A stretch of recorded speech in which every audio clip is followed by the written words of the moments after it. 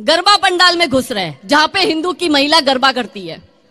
अब सबसे बड़ा प्रश्न कि इनको हमारे गरबा में जाना क्यों है? और आप देखो कि न्यूज़ चैनल की डिबेट पर भी अब्दुल खुलेआम कहता है कि क्यों हम नहीं जा सकते? तो उस अब्दुल को पूछती हूँ कि तुमको आना है तो आओ, अपनी फातिमा तो लेकर आओ हमारे गरबा में। उसको क्यों नहीं लाते हो? ये तकलीफ़ है। और दूसरी बात जो लोग 1400 सालों से अपनी महिलाओं को मस्जिद में एंट्री नहीं दिला सकते, इन जिहादियों को हमारे गरबा पंडाल में एंट्री चाहिए, बताओ।